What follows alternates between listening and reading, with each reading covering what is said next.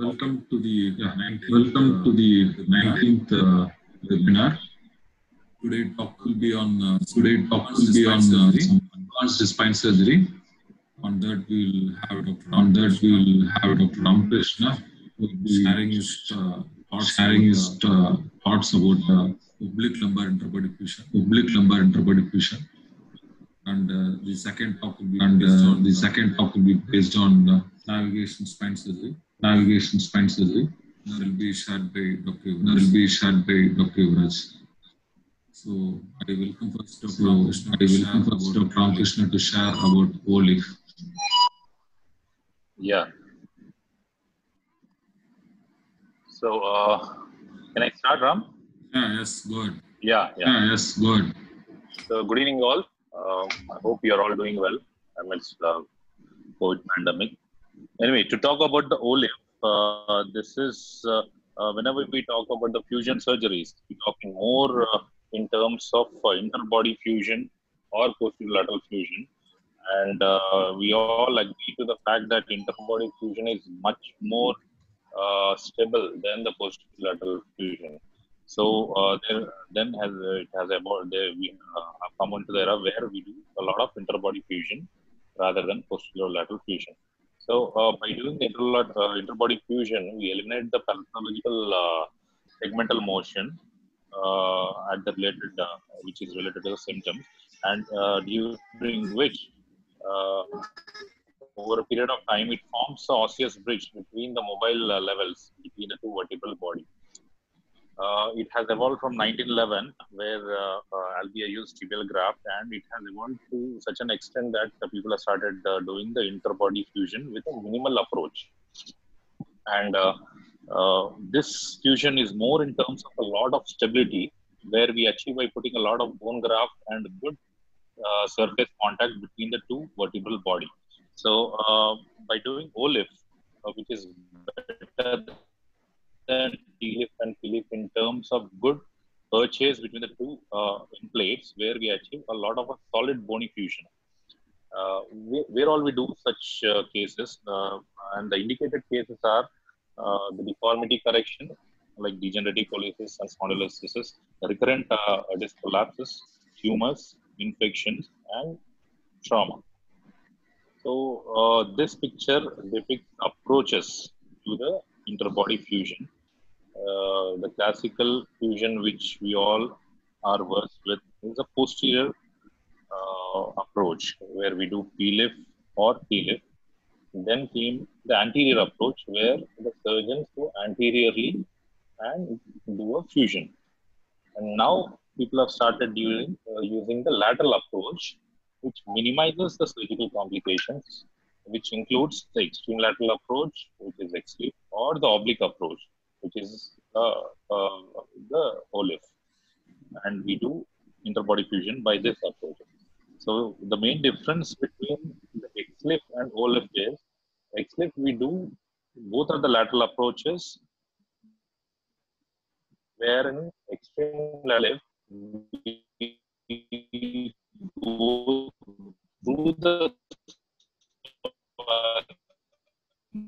muscle and split the psoas muscle. In OLIF, split the psoas muscle as such.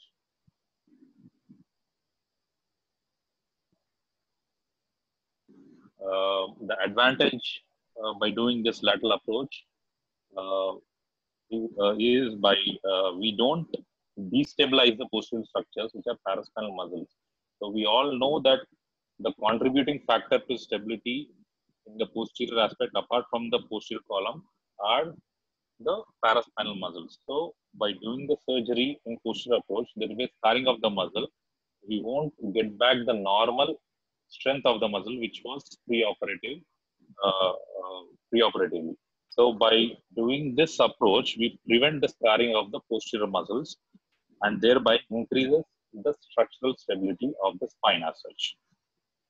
And by doing this oblique approach, we give a lot of big interbody space and restore the interbody space by which we restore the lumbar lordosis. And we don't have to do a lot of uh, multiple level of uh, uh, TLIFs to achieve the lumbar lordosis previous in the previous talk, uh, Lakshmikant has told about the lumbar lordosis achievement, which is almost near the pelvic incidence, which can be achieved with lesser fusion levels by oblique approach or anterior approach. And uh, the main disadvantage with oblique approach is we do we cannot uh, get an access to the L5 and S1 level. So for that level, we'll have to opt for the anterior approach. And in oblique approach, the main difference is you go slightly, the entry point is slightly anterior to the lateral approach. So which is oblique between the iliac crest. The entry point of the lateral approach is between the iliac crest and the 12th rib. And the entry point for the OLIF is 5 centimeter anterior to the lateral approach, where exactly you land up at the oval window when you get into the disc. And uh, there are few contraindications where you do not have to do the lateral approaches are the calcified aorta, prior vascular reconstruction surgeries, and uh, prior intra-abdominal surgeries where you get a lot of scarring, where you don't appreciate uh, the structures well. And in high-grade lysis, uh, where you do not achieve the reduction when you go for OLIF, and uh, uh, in pelvic inflammatory disease. When you do an oblique approach and put a, a bigger graph or the bigger cage, you increase the size of the disc space, thereby indirectly you will decompress the foramen or the canal stenosis. But however, in severe lumbar canal stenosis, you cannot completely achieve the decompression. The advantages with OLIF are it, it prevents the injury to the psoas muscle and lumbar plexus, which you usually encounter in lateral approaches, where you split open the psoas muscle because the lumbar plexus are inside the psoas muscle as such. And you'll be away from the peritoneum and the vasculature, and it prevents the retrograde ejaculation by preventing the injury to sympathetic uh, plexus. And we have a direct visualization to the space and the lesser incidences of hernias and EVS, as we are not interfering with the abdominal structures. And there is minimal blood loss during this procedure, as there is no muscle ripping or is just a blunt dissection till the disc space. Coming to the surgical technique of interbody fusion, the very important point is the patient positioning have to be real, not injuring the peritoneum. And the trans psoas and the disc exposure.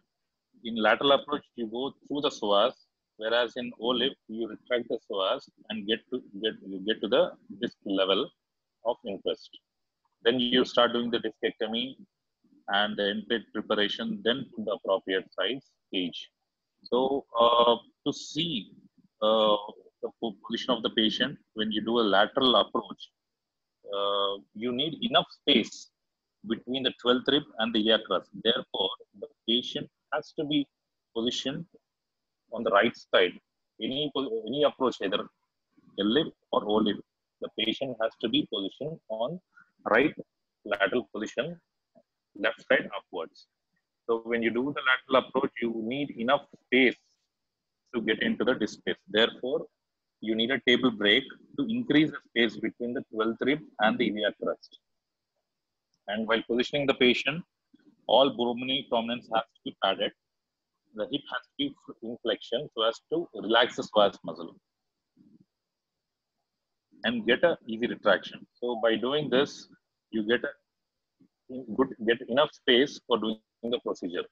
But the advantage with OLIF is you don't have to break the table and the position is same the, uh, the patient leg need not be extended uh, patient leg need not be flexed and the patient uh, once it's positioned the proper way uh, the strapping has to be done so that the position should not uh, the position has to be maintained. And uh, the advantage with OLIF is the surgeon will be standing anterior to the patient. If you see the LLIF the, uh, the surgeon will be standing posterior to the patient where the, uh, the surgeon has to bend and look into the disc. In this case, the surgeon will be standing anterior to the patient and he'll be visualizing the displays directly. Since it is a long procedure, the, uh, the surgeon will not get tired doing this procedure. at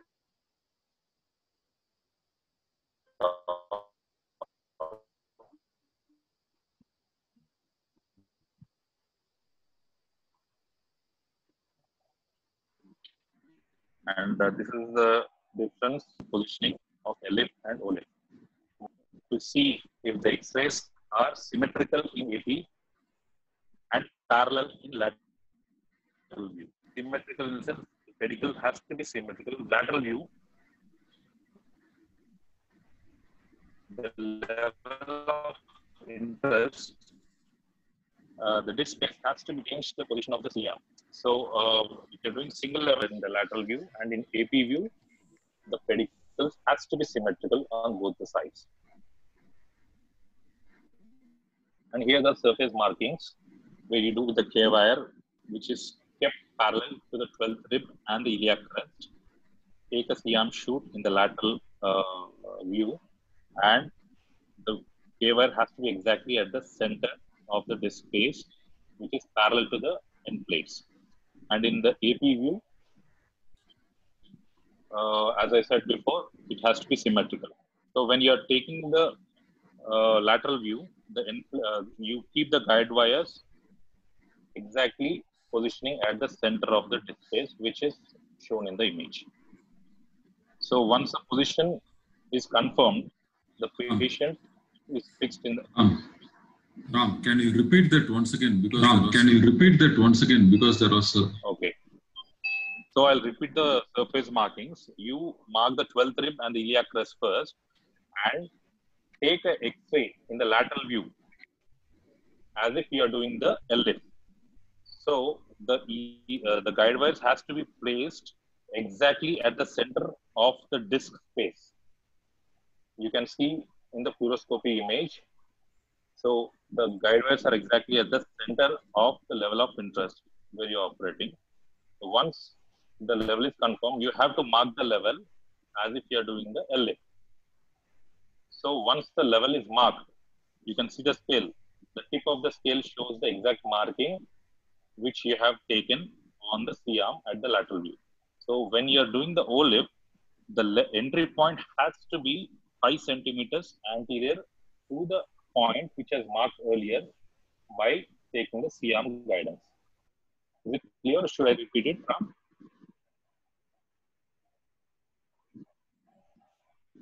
Huh? Yeah. Huh? Is the point taken or should I repeat it? No, it's good. Good. Okay. No, it's good. good. So uh, once you get the exact entry point for the OLIF, uh, the incision it's up to the surgeon whether he can take vertically, horizontally, or obliquely. But I personally prefer uh, taking incision parallel to the 12th rib so as to do orthogonal maneuver, which I'll be explaining at the latest uh, slides. So uh, the exact level of incision has to be, if you're doing the single level uh, surgery, say L3-4, your entry point has to be at the disc space of L3 and 4. And suppose you're doing surgeries at L2-3 and L3-4, your incision has to be at the level of L3 vertebral body so as to get good access to both L2-3 and L3-4 as well. So uh, you start your surgery by doing a skin incision, then do a blunt dissection underneath. Immediately after the blunt dissection, you see the fibers running parallelly, which is running obliquely towards the pubic symphysis, and that muscle is an external oblique muscle. So immediately below, uh, so these are the fibers which are running parallelly. Uh, this is a cadaveric uh, depiction, and immediately below the external oblique muscle, the fibers which run perpendicular to the external oblique are the internal oblique muscle. So once you dissect the internal oblique muscle, there comes a transverse abdominis, which runs uh, transversely below the internal oblique muscle. So this is a video which shows the muscle fibers which are running parallelly. So uh, after the skin blunt dissection, you see the external oblique muscle.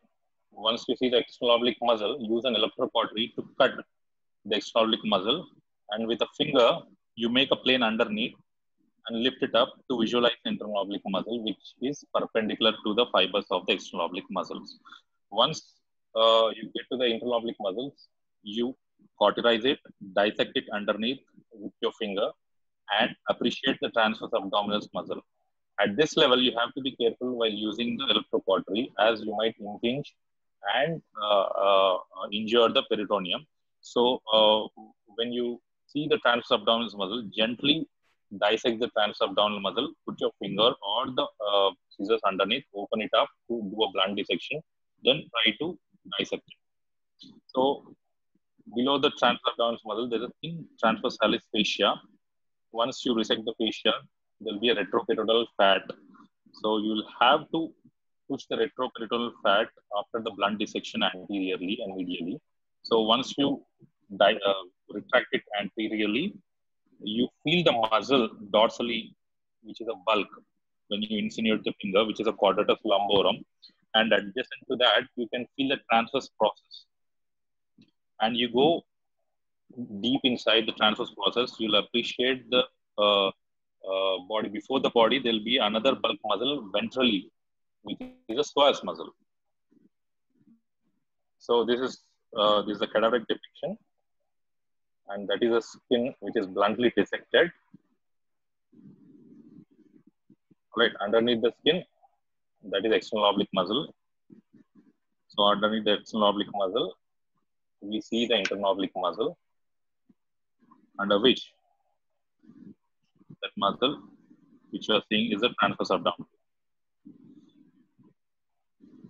So this is a cadaver where uh, we have exposed all the muscles to appreciate. And when you go deep inside, this is this muscle posterior to the peritoneal fat is the psoas muscle. So it is very important to appreciate the psoas muscle when you do an OLIF. And you have to resect till the anterior border of the psoas. And when you dissect the peritoneum, your retroperitoneal entry is really important and you should never, never injure the peritoneum. So you have to do the blunt dissection always with your finger insinuated and lifting the peritoneum medially from the posterior abdominal wall. It has to be done caudal to cephalad. Once the peritoneum is released from the uh, abdominal wall, it has to be pushed medially so as the abdominal contents will fall forward. Once the peritoneum is pushed or retracted forward, you can appreciate the quadratus lumborum and then go deep inside to appreciate the psoas muscle with, uh, anterior to the muzzle. Once you appreciate the psoas muscle, then go anterior to the psoas muscle to reach the oval window. The structures you got to be careful by doing this procedure are ureter, which crosses in front of the common iliac artery, which feels like a thick band, and it has a peristalsis movement. So usually you don't. Usually you don't try to see the ureter; it will fall for, uh, forward when you uh, retract the peritoneum. And this is the deep dissection. That is the psoas muscle, which is retracted posteriorly and that is a disk space. This is an infected disk. That's the reason it's uh, being uh, eroded, and that's the disk space which you can see. And uh, anteriorly, there's the yellow color thing is the fat, peritoneal fat. So you should always know the anatomy of the psoas. It starts from T12 uh, and uh, the origin point is from T12 to L5 and the insertion point is at the uh, lesser trochanter of the femur. So uh, whenever you injure the psoas, you always have problem. The patient always has problem in flexion of the hip, and uh, by doing OLIF, you don't damage the psoas. Therefore, the uh, the pain during uh, pain during the flexion and difficulty during the flexion uh, post-operatively will be really less. And these are structures which you have to be really, really careful while dissecting the peritoneum or retracting the peritoneum uh, sorry, uh, psoas muscle. So uh, these are the neural structure: iliohypogastric, ilioinguinal, genitofemoral nerve, lateral cutaneous uh, nerve, thigh femoral, and the lateral nerves. These nerves will fall anteriorly when you go downwards from L1 to L5. Therefore, doing OLIF at the lower level will be slightly difficult. So uh, the image on the right side shows the neural structures which is coming anteriorly when it comes to the level of L5. Therefore, it is always safe to do OLIF at the proximal levels. And at the max, L4, L5 can be done. And below L4, L5, even if, if you have an access, first of all, you don't have an access because of the. Even if you have an access, it will be really risky to do the uh, interbody fusion at that level. So the best level to do interbody fusion with OLIF is L3 and L4.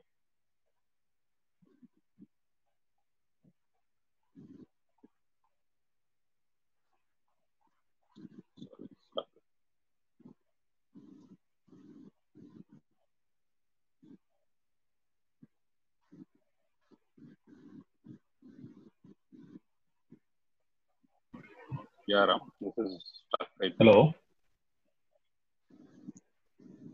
Ram? Sorry, my slides are stuck, so I'm getting into it.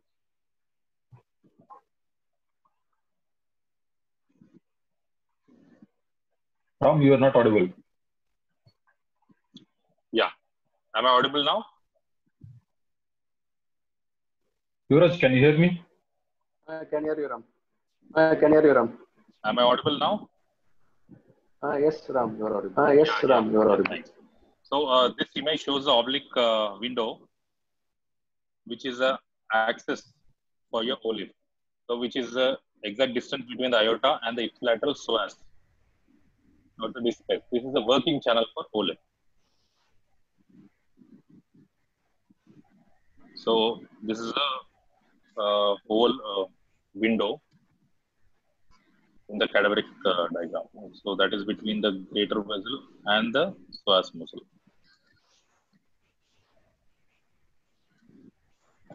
So the whole window is maximum and very safe at the proximal level. That is from L2, 3 and L3, 4. When you come down, uh, the whole window will be very less and you have uh, good chances of injuring the uh, neural structures. So uh, in OLIF, you always need pre-op axial MRI to see the oval window. If the oval window is not good enough or very narrow, it's always better to do the LF instead of OLIF. So you don't usually need the uh, neuromonitoring when you do the OLIF, whereas in, while doing LF, you always need a neuromonitoring whether to see if you are injuring the neural structures while dissecting the psoas. So uh, the patient position, as we have discussed, we don't need a, a table breakup, and the incision will be five centimeter anterior to the uh, incision where you take for the LF. And the psoas is not split; it is retracted posteriorly. And uh, for doing the fusion, you'll have to do the orthogonal uh, maneuver, which I'll be explaining in the later slides. And this is the neuromonitoring when you do a LF. So once you reach the disk space, you put your guide wire, identify the level in this way. You take both AP and the lateral view to see exactly where you're landing your retractor. So once you put your guide wire, you put a serial dilators through your guide wire. Once you put your serial dilators through your guide wire, then dock your retractor and fix it to the frame. So this is an image after you dock the retractor. You will have to confirm your position of the retractor even after you dock the retractor so that you don't have any problem while doing the procedure.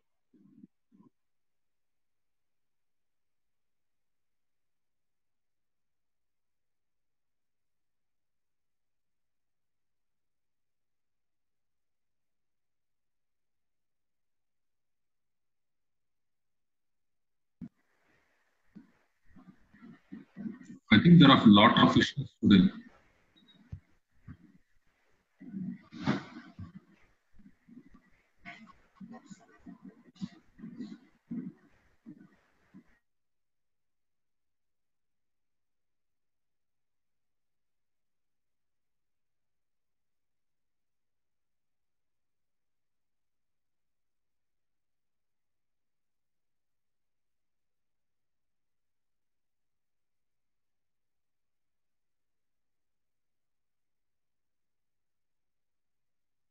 Yes, Ram.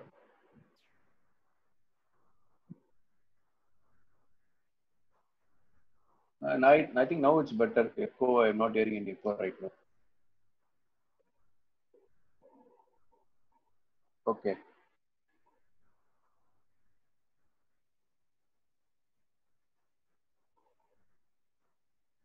Okay.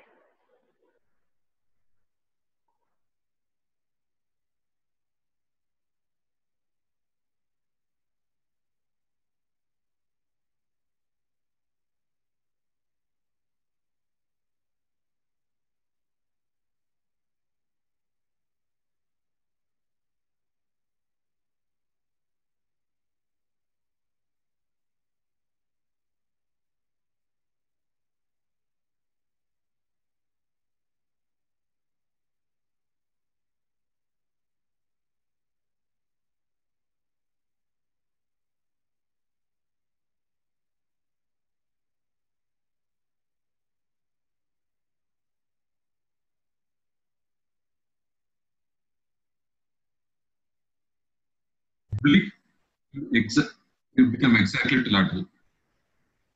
I think echo is because of Ra- Ramakrishna. Correct? Correct. Correct. Okay, let him finish then.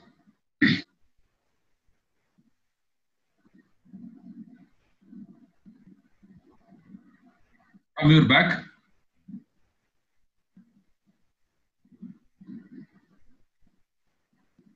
Yes, sir. Yes, sir.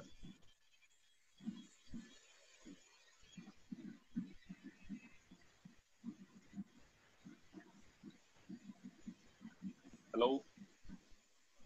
Ram, yes, go ahead. Yeah, yeah. Sorry, sorry for the interruption. So uh, this is how I uh, do the serial dilation. So once I do the serial dilation, I'll dock the retractor, and uh, in LIF uh, on the lateral left side, if you can see, it is 90 degrees, and in OLIF it is uh, oblique through the oval window. Once you dock the retractor properly and confirm on the C arm, then you can remove the dilators.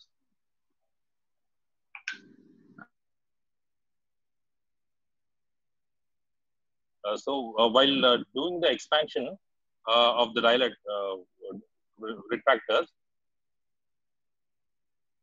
segmental vessels, which is at the center of the body. This is a segmental vessel. Uh, the center one, you can see the uh, uh, disc and uh, the segmental vessel, which is shown, uh, is at the center of the body. Uh, so you, have to be always careful while dilating the retractor. So it has to be parallel to the disc space to uh, aid in orthogonal maneuver. So once you enter, uh, reach the disc space, you have to do the uh, discectomy, then uh, do the entry preparation. And uh, this is a small video which shows uh, how we do the discectomy and do the entry preparation. So you get a very good approach and access to the disk space, uh, you go uh, doing the discectomy through and through of the annulus. So you'll have to remove on both the sides. So once you remove, so once you're done with the end preparation, you take a trial entry, and before doing the trial, you have you need to always size your cage preoperatively, either in the MRI or the CT. So once the size uh, is measured preoperatively, intraoperatively also you'll have to size with appropriate uh, disc sizes. And once you confirm with a trial, then you take a appropriate disc size uh, cage filled with the bony graft. Usually we take the iliac crest as autograft and then introduced the cage into the level of interest. So when you introduce, the angle is oblique. If you introduce in the same way, you will be going posterior into the canal. Therefore, orthogonal maneuver is uh, important where once you are start, uh, uh, entering the disc space, you go as posteriorly as possible in this way and which will be 90 degrees and then start introducing the cage in the disc space and you'll have to take both AP and lateral views to see the position of the cage. In AP view, it has to be symmetrical exactly. Those are the marking lines which gives the feedback to you. And the cage has to be placed anterior to the instantaneous axis of rotation so that there is a good compressive forces following the Wolff's law, which aids in the good conic fusion. So the advantages are with a minimal approach, with a very uh, minimal blood loss, we'll, we'll get a better disc clearance and endplate preparation with a la- with a chance to put a larger cage. And we can restore the good disc height, thereby indirect decompression can be possible, either foraminal or canal to a certain extent. And it is easier when you do a revision surgeries. You prevent the scarring of the neural structures as well by doing this. The disadvantages are it is technically demanding and you need to do a lot of cadaveric uh, uh, before doing it individually. Or you take assistance from a surgeon who has already done it. And the injury to the psoas muscle, injuring the vascular structures and the neural structures nearby, and the ureter injury can be possible if you don't land up at the exact oval window. So uh, you have to know your anatomy properly before doing this procedure. Uh, our mentor used to say, know your anatomy properly. Uh, if you know your anatomy properly, your surgery follows. So as your anatomy is your surgery. Thank you.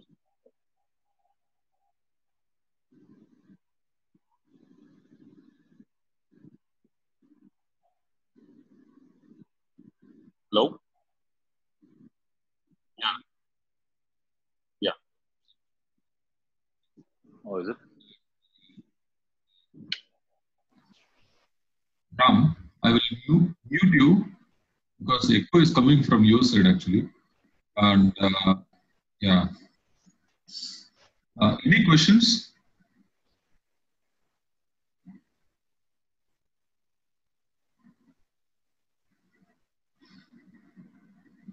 Any,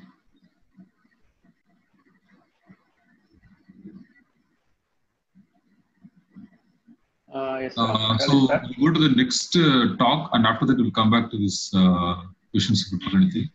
Uh, Yuvraj, Yes, Ram. Uh, yes, Ram. Shall I start?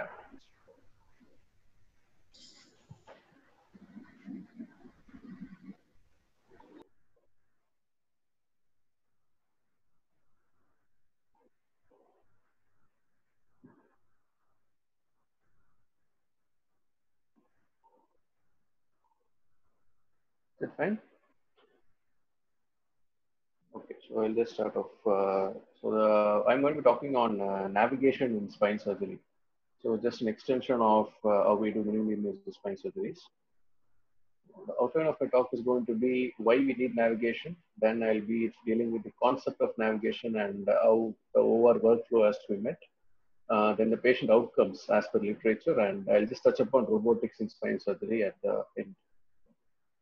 So why really do we need navigation? So why in spine surgery do we need navigation? Is the first question. So I think we all agree that spine surgery needs meticulous and steady hand work, and we use small corridors for surgery, and we need to keep collateral tissue damage at a minimum. And uh, most of our procedures are long, and the surgeon is prone to fatigue. So spine surgery is an ideal candidate for using technology assistance for optimal outcomes. And so MAS is one such thing. So uh, we all agree that MAS has less muscle damage and reduced blood loss and reduced post-op pain, improved outcomes, etc., etc. Uh, so all of that is beneficial for the patient, but for the surgeon, the problem in doing an MAS is just one, that is more radiation exposure. And it is studied that a spine surgeon compared to a hip surgeon sees up to 50 times more of radiation dose in his lifetime. So the problem of radiation is something that we want to address using navigation. So according to Oxford Dictionary, navigation is the process or activity of accurately ascertaining one's position and planning and following the route. So this is done using computer assistance in surgeries here.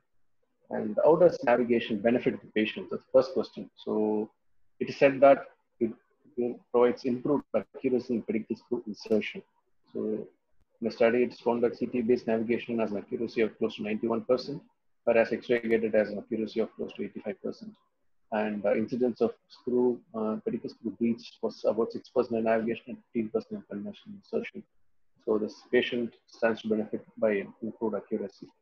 How does the surgeon benefit? The surgeon stands to benefit by reduced radiation exposure. So it's probably beneficial to both the patient and the surgeon, and it's probably something worth looking at. But what are the problems or what are the barriers in starting to use navigations? So the problem is the entire operating team needs to be trained in how the machine works and how it has to be integrated into their daily workflow in uh, instruments, etc., etc. And uh, we need upgraded imaging equipment for that. So our conventional C-arms and all that is not going to work. We need better C-arms, better imaging equipments, and cost. So that's the most important thing we need to worry about. So how to understand navigation? So the concept of navigation can be understood simply by thinking of or looking at Google Maps. So how does Google Maps work? So let's say you are standing somewhere on the road. You have a phone. Your phone is the GPS transmitter or receiver, and your phone is located or localized by multiple satellites. So said that three satellites triangulate your position, and the position is ascertained in uh, latitude, longitude based on the satellites uh, what they get. And this particular latitude longitude that you're standing at is superimposed on a pre-built map of the Earth, planet Earth. And that gives you where exactly you're standing and where exactly you need to go next. So this is sort of how navigation also works. So in navigation, the satellite is replaced by a receiver camera. So this receives an ultra, uh, this is infrared radiation. It transmits and reflects infrared radiation back from the patient. And the GPS transmitter is replaced by a navigation probe. So this is a probe that can be placed on the patient, on the patient's skin, and it has these uh, reflectors. So these reflectors will communicate with the infrared camera of the monitor. And the map is built by using image uh, software, querying software and reference points. So you need two things. First is you need a patient's image, anatomical image, that is a CT or an X-ray. Second thing is you need a reference for the image. So you just uh, you need both the map and the latitude longitude. So the map can be got by the O-arm and the latitude of longitude can be got by this reference probe. I'll just uh, explain little more about this as well. So what are the imaging systems that we have in market? So we have O-arm and uh, that's uh, sort of a four-arm CT. Then we have Airo, that is an intraop CT, and then we have Ziehm, uh, that's a 3D fluoroscope. So I'm just limiting my discussion to just uh, over three systems. This one, this one exclusive this. We have multi, many more imaging systems also. So what is O-arm? O-arm is uh, as an open arm here, and this open arm can be placed around the patient, and the gantry can be closed as the patient is positioned, and we get intraoperative CT images using that. Uh, so yeah, so approximately it costs uh, 4 crores, I believe. So these um, cost details are taken from uh, abroad and they just uh, done a cost or a dollar conversion to rupees. I'm not sure how much exactly cost in India. And Airo is an intraop CT. So what Airo does is Airo as an attached table, which can be tilted or rotated as wished. And uh, this is also an intraoperative CT. It costs about 5.5 crores. Ziehm Vision R. This is a 3D fluoroscope. So on just on appearance, it looks like the regular C-arm, but it is what it can does is it can obliquely rotate uh, as per program, and it can obtain 3D fluoroscope images and it can give you almost a 3D intraop CT picture. So this costs somewhere about two crores every.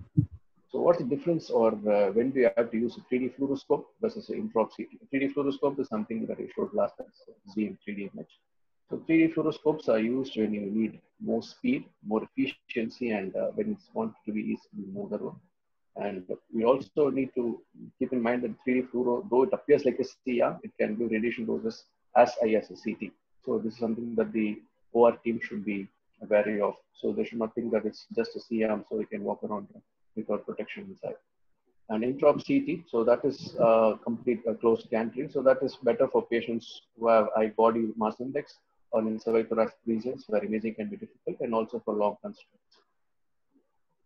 So one, one hand is the imaging technique, another hand is the instrumentation software that we have. So examples of these are one from Medtronic, the Station, and there's then there's a 7D surgical system, and then there's something called SpineMask navigation from Stryker.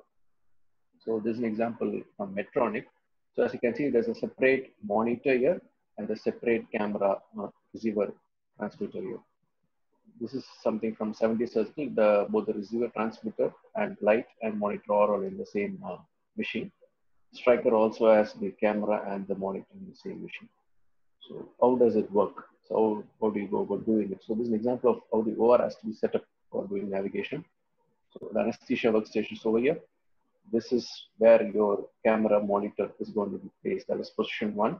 This is the head end of the table, foot end of the table, surgeon, surgeon. So this is the primary surgeon will be standing here. And this is where you place your imaging system, either the O-arm or the 3D fluoroscope. The OR nurse stands there, so the circulating nurse stands here. If needed, you can also use this foot end position. In some cases, you may have to do have a foot end position instead of a head end position. So this is how the OR is set up. So this is just a picture. So this the camera at the end of the patient, foot of the patient, the 3D fluoroscope is placed here, and the surgeon stands on either side, and the floor staff nurse stands on this side. What needs to be noted is the camera and the patient, there should be a clear line of sight. So the camera is there, patient is there. You should not have anybody standing in between these two. So clear line of sight of the camera is very, very important for the camera to uh, get the probes and to detect the probes and to give you a clear picture of what's happening inside. So what are the steps? So once you position the patient, so the camera is there, that's your satellite. And then you need to get a map of the patient. So that's the next step. So to get the map, you need a, a reference point and then the uh, 3D or the CT image. So the reference point is can either be placed on a bone, that is an invasive method. So in this example, there's a pin placed on the posterior iliac spine, and there's a reference uh, frame that's attached to this. So you see the, all these multiple bulbs, these are nothing but infrared reflector uh, bulbs. So that's an invasive method of having a reference frame. Other example is a non-invasive method in which a reference frame like this, this is from Stryker, it's called SpineMask. So this is just stuck onto the patient's skin and uh, here is your uh, reference frame bar transmitter. So now the patient's reference frame is in place, the satellite is in place, you need to get the patient's anatomical data. So that is done using either the O-arm or the 3D fluoroscope. So this is can be completely automated. So the machine has to be brought to the patient and we need to make sure there's adequate space for the machine to rotate 360 degrees and to get your image. And uh, you can just start the process and everybody can leave the theater except for probably one person in anesthesia to monitor the patient's vitals. So an radiation exposure can be kept to almost nil. The surgeon, the OR team, everybody can leave the theater while data acquisition is going on. This probably takes about five minutes. And once uh, the system has uh, got the CT of the patient, it will uh, calibrate this with the reference frame of the patient and it will create a map that is there. So what happens next is you just have to take, uh, user can enter the theater, start the surgery, you take another probe which has these reflectors, you place it anywhere on the patient's skin. So this will give you an idea of where, which part of the body you are at. So for example, place it near the L4 vertebra, it will, the screen will show you that you are, which part of the L4 vertebra you are at. So that's how it works. So for example, yeah, so this is a reference frame there. The monitor is placed uh, at the other end here. And once you know where you are at, you can start a skin incision. You can start putting your uh, K-wires and your taps using this. So this is a tap that is being used. You can see that even the tap has a, reference monitor. So these two give you an idea of where exactly in the patient or where exactly in the patient's map you are at, which the computer will uh, provide a reference for. So as you're tapping, let's say the L4 vertebra or the L5 vertebra, so you know where exactly medial lateral trajectory is, what your superior trajectory is, how medial you're going. So all three views are seen and you get a perfect idea of how long screw you have to put and how deep you have to go inside.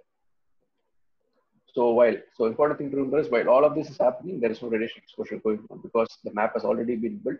So what are you doing right now? There is no CT or X-ray that is act actively running right as these processes are going on.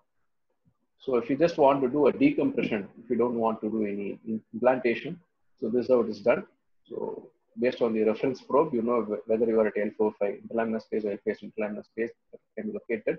take a skin incision and dock your uh, tubes there, and then go ahead and do your surgeries. So even if you dock your tube, you can use a reference monitor to know exactly which place in the spine you are at. An example of uh, how an L5S1 uh, or a L4, L5S1 TLIF can be done. So again, you see that the monitor is there, the camera is there, the surgeons are looking at it, and uh, there is the instrument. It's probably Jamshidi needle. So that has a reference probe on it.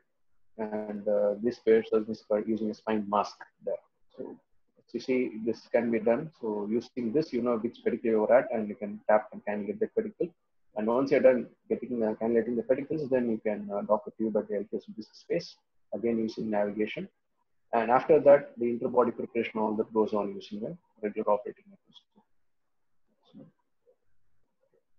So if so for if, for example, you see the surgeon has to look at this monitor at all times, so that's probably something that is inconvenient. So they have come up with this Augmedics X Vision in which you have a heads-up display, like what you get on uh, BMW car or Mercedes car. So you don't, you don't have to look up at the screen. So there's a, a small uh, head, head uh, mounted unit, so that will give you heads-up display right in on the patient's field. So you don't have to look up or do anything. You can concentrate just on the surgical field as you do surgery. So that's how the thing works. So as you can see, you can use this for decompressions, for instrumentation, and also for interbody fusions. So what does literature say about this? How does this compare to uh, a regular freehand technique?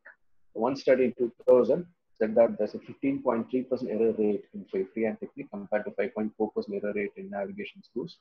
And uh, of the freehand technique, four patients had their neurological complications. Okay.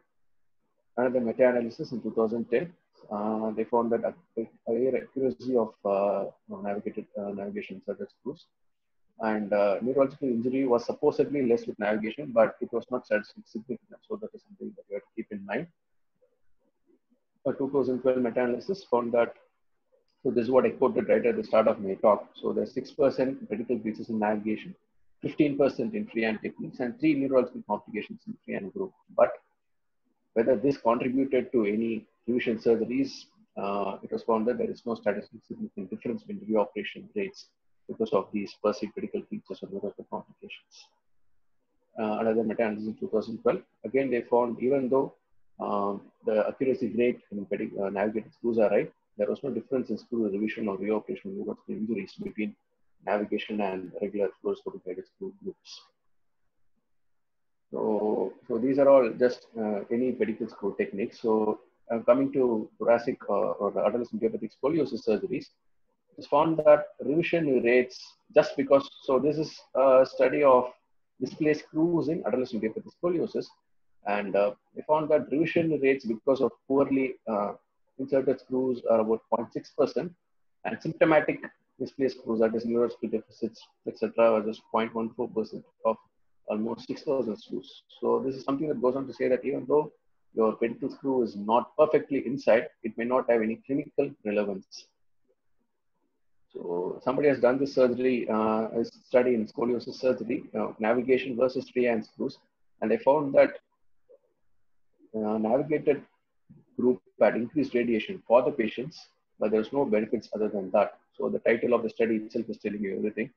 So they found that even though navigation was used, it did not confer any uh, added benefit for the patient, except for increasing radiation doses to the patient. And so this is something that's interesting that I come across. Uh, somebody has studied uh, navigation in teaching of trainees.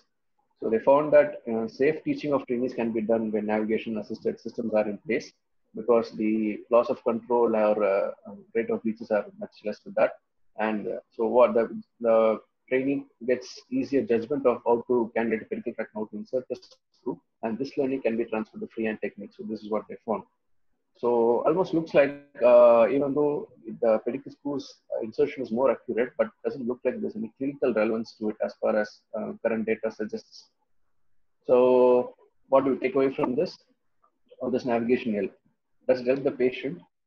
Probably because it gives higher accuracy in screw insertion, but the clinical significance of this is not been established. So even though pedicle screws may be 100% pakka inside the screws, pedicles, whether that translates to better clinical outcomes, we're really not sure. For the surgeon, the learning curve is steep, but uh, reduced radiation exposure is something that is really something that the surgeon should look at. So surgeon has definitely something positive to take away from navigation because you can be, you can do a MIS surgery with much less radiations. For the hospital, uh, probably high cost of entry, getting these uh, instruments, getting all this up is going to take a lot of cost initially, but probably that can mean that the hospital can build the patient's flow. That's something that the hospital can look at. So that is the state of navigation surgery right now. Even though there is higher accuracy of instrumentation, higher accuracy of decompression, the clinical significance of this or clinical relevance of this is really something we are not sure about. I'll just move on to robotics uh, in spine surgery. I'll just, just touch upon what it is and uh, what is the role of it in today's uh, surgical practice. So robotic surgery is something similar to navigation surgery. It has the same principles. It utilizes computer-assisted navigation also. But what better it does is it eliminates the surgeon's uh, interference with the tracking systems. So like I told you, the tracking systems in uh, uh, uh, navigated surgeries, I told you the monitor camera has to have a clear vision of the field, we should not disturb the uh, reference frames, etc., etc. So all of this uh, can be minimized using a robot. So the surgeon's role comes down to much less. And uh, the robo cannot be fatigued. You can do multiple surgeries one after the other, and results can be reproducible with a robo, much uh, less than compared to a human. And uh, currently, the robotic surgery is limited only to pedigrees replacement. So we are not uh, robots are not doing anything other than currently, no role for decompression, etc., etc. So this is the most commonly uh, studied or extensively clinically used robot that's called a Mazor robot uh, or a SpineAssist robot, approximately cost about 3.3 crores. So this how it is, looks like, right? So it is mounted on the patient and using three bony uh, anchors. So two and either PSIS and one at one spinous process. So obviously these are thicker pins and this is going to be a thinner wire and a rail is mounted on this and the robo moves on this up and down and it tells you where to do your surgery. That's So that's the actual setup. How does it work? So we do a pre-op CT scan and create a virtual spinal map for the robo software. So CT scan can be done even before the uh, patient comes into the OR. So that's an advantage. And the surgeon can do a template even before the surgery starts anytime. So you can uh, actually feed the, tell the computer that you want to insert screws at L4 bilateral, L5 bilateral, you can give the computer to the trajectory, the size of screw that you want to use, etc. And a virtual template is already ready even before the patient is coming to the theater. So once the patient is in the theater, we use intra probes that are mounted on the robot. So like the reference probe that we use in regular navigation. So the robo uses this along with intraoperative X-rays. And uh, all of this data is compiled by the software and the software gives the robo a virtual map on which it can work. So let's say now the virtual map is ready, the robo will move on this rail. So let's say it will just move near the L4 and this outer arm of the robo will tilt and it will give you the exact trajectory to the L4 pedicle. So once that is given, now it's the surgeon has to come in now. The surgeon has to drop a K wire down this trajectory that the robo has given you already. So that's the only thing that this robo can do. This robo can let, uh, help you in dropping a K wire or can help you uh, cannulate the pedicle initially. So after that, the robo arm has to be moved away and uh, tapping and screw insertion can be done by a regular MIS instrumentation. That's sort of how it looks like. So the arm gives you the trajectory. On top of it, the surgeon goes in. He follows the same trajectory and he places the K-wire inside and then a tapping and screwing is done. So I think this, I believe this is a robot that Apollo Hospital Chennai has. Uh, this is not something I've taken from their website. Is probably the one that they have is a robo. Even though this robo uh, was studied and it was found to have good uh, accuracy in some studies, there was one particular study that came out in 2012 and that said that uh, accuracy of these robotic screws are lesser compared to fluoroscopic screws, 85% versus 93%. And they said that 10 out of 146 robo screws required intraoperative removal and reinsertion. So the reason that these authors felt was probably the anchoring K wire, that this wire that is used on spinous process probably tended to come loose sometime in the middle of the procedure, thereby throwing the entire uh, uh, spine virtual map out of balance. And sometimes they found that the drill tended to skid off the facets in uh, arthritic facets, etc. So that's uh, where things stand. So to improve the anchoring of the uh, robo, so there is some other uh, things that are coming up. One is the ROSA robot. So instead of anchoring the robot onto the patient, this robot is uh, it's, is floor mounted. It's like a microscope. Uh, so this is actually initially it was meant for uh, cranial surgeries or brain surgery. So this is being now tweaked or modified for spinal applications. So what it also does a similar uh, thing. So it gives you where exactly you have to start on the patient. So it will give you the starting point for a screw, say the L4 screw, and it's a surgeon now who has to cannulate the L4 pedicle and he has to uh, tap and insert the screw. That's what the ROSA robot does. What we have uh, now, the latest entry is uh, from Globus, it's Excelsius. I think it costs about seven and a half crores. So the difference of Excelsius compared to the ROSA robot is Excelsius will let you even insert the screw through the robo arm. It has instrumentation that will support even screw insertion to the robo arm. So even K-wire insertion, tap screw, all of them can be done using the robo arm. So thereby it gives you a better control. So all of these are only for pedicle screw insertion. Other potential applications for robots in spine surgery is uh, uh, laminectomy has been attempted in uh, pig model, but it's been done using open approach, not MIS approach. Sometimes you can even combine uh, MIS TLIF. You can uh, insert the screws using the robo, and you can even use the robo to identify the location of the facet so that you can do a uh, skin incision and start doing your TLI through the facet. You can even use the robot to uh, decorticate the facet. So you can localize the facet, you can open the facet up. Instead of using uh, uh, cutting burrs and all that, you can, uh, sorry, instead of uh, cutting the facet off, you can use a burr to decorticate the facet and uh, place graft there. So anterior spinal surgery has been done using the Da Vinci robot. There's just one case in literature. They've done an L5S1 ALIF using Da Vinci robot. So it's the only one instance of anterior spinal surgery using this. The Da Vinci robot probably does the most famous robot out there. It's used for laparoscopic surgeries. Uh, but uh, till now it's not been uh, adapted for posterior spinal surgery. So whatever robots we have in spinal surgery, they are just guidance for the surgeon. The surgeon needs to come in and he has to do the procedure himself. Um, much unlike a Da Vinci robot in which the surgeon can sit away from the OR and he can do everything through a remote operating chamber. So those are my references for this talk. So that's uh, a picture from a, a, short stay at Mount Sinai Hospital in New York. So that's why I learned uh, the principles of navigation surgery. That is Dr. Qureshi. So that's exclusive navigated surgery that use navigation for uh, L-face and. I'm done. That. Yeah, thanks, thanks, Yuvraj. Oh, thank you. The purpose of adding this uh, talk is that so in future the present scenario the surgeons cannot be replaced by any of these uh, navigation. And i hope in future uh, there might be chances that comes like work from home. So the surgeon has to work from home and the your robots will start working. And uh, navigations at current scenario is not that uh, affordable, but uh, still the advantages are much better because I've been using it for the last two years.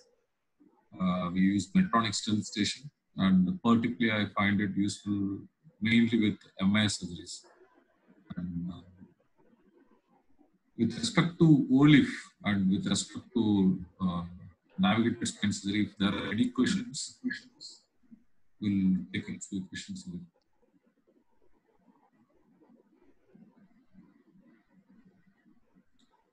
Ramakrishna. Yes, Ram. So uh, one uh, question is, uh, there has been a lot of uh, OLIFs now coming up for L5S1 as. Yeah.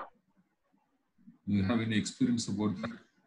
No, L5S1 I don't prefer to do. As I said, the neural elements will tend to come anteriorly as you go down.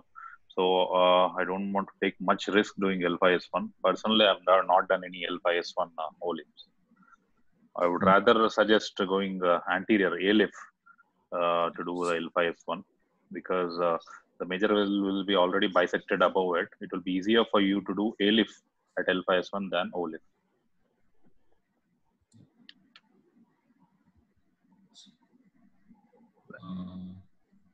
Take home message regarding OLIF? Sorry? How to start with? Because OLIF surgeries are not commonly Uh, Yes, and yes. at least in these people who have as participants now. So Yeah. any uh, stage we start with to. Usually, uh, all you do in a long, uh, uh, especially degenerative scoli patients, uh, where the disc spaces you have, uh, you see a vacuum phenomenon.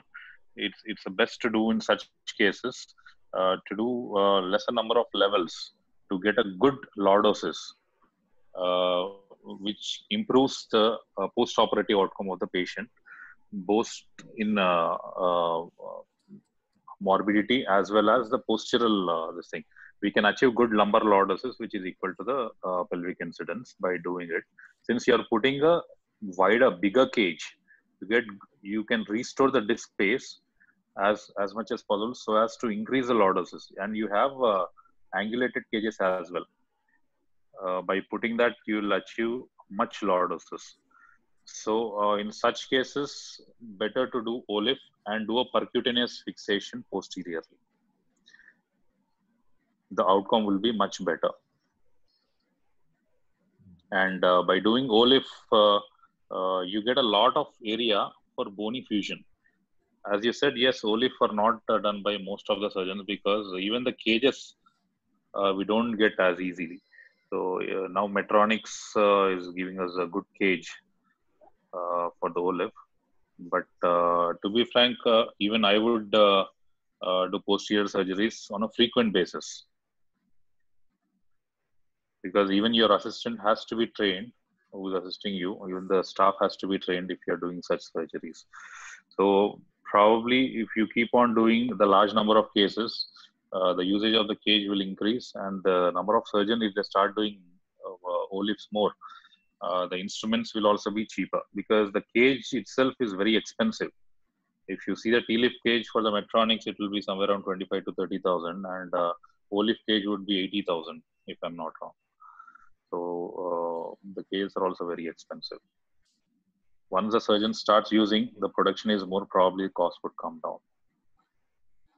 So to start with, I would recommend few things uh, for surgeons. To do OLIF, first thing which I would, I how I learned is first go to some cadaveric uh, uh, lectures, Yes, who yes. works hands-on, learn from that, and uh, with the seniors, with the help of seniors initially.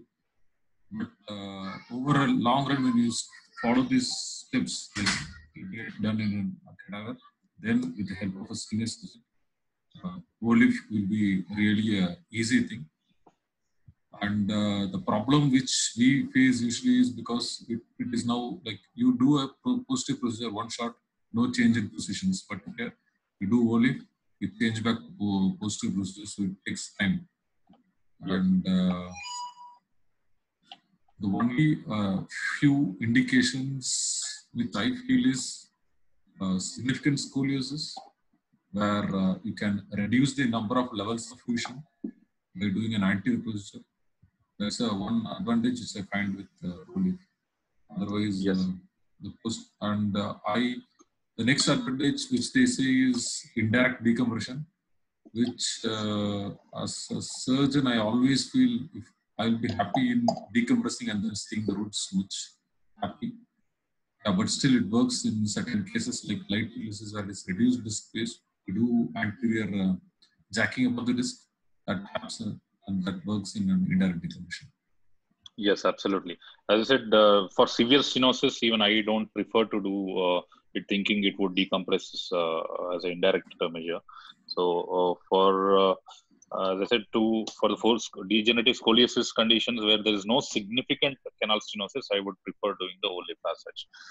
Uh, for significant canal stenosis, it's always better to thoroughly decompress posteriorly where the patient complains more uh, of a claudication pain or the radicular pain than uh, the back pain. So if the patient has more of a back pain and less of a claudication or a radicular pain, probably this uh, would be a better option. But if it's the other way around, as you said, yes, always decompressing the nerve roots is a better option. And uh, to start off with, as you said, yes, always go to the cadaveric lab learn thoroughly, see the anatomical structures. All the uh, images uh, and the videos which I have taken are from the cadaveric uh, video. Uh, as uh, in the patient, we don't see this much of exposure. So always go to a cadaveric lab, appreciate the muscles, feel it.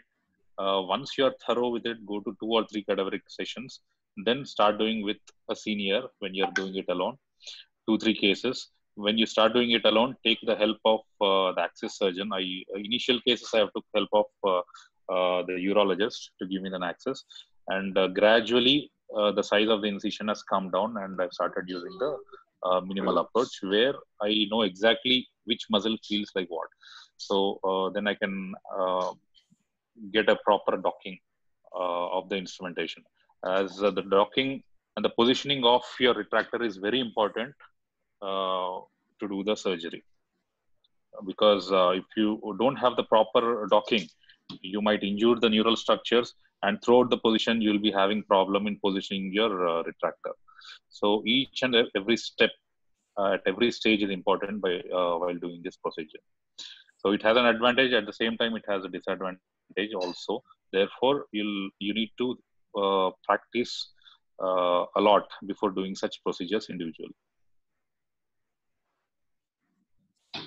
Um, with respect to navigation, Dr. Yuvraj has given a very nice example of uh, Google Maps. So, and that was, I think, it would have been really useful to most of our participants. Thanks for that excellent example.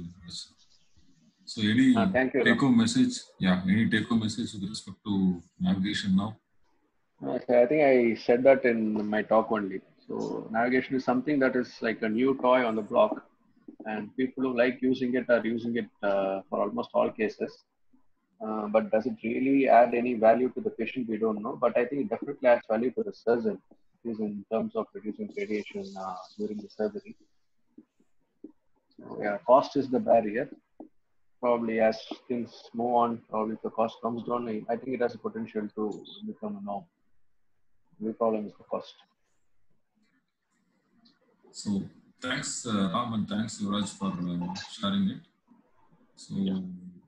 hopefully this might be the last uh, webinar as well.